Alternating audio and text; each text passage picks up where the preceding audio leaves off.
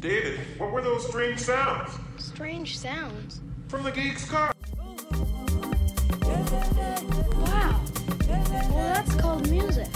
I want to hear more music.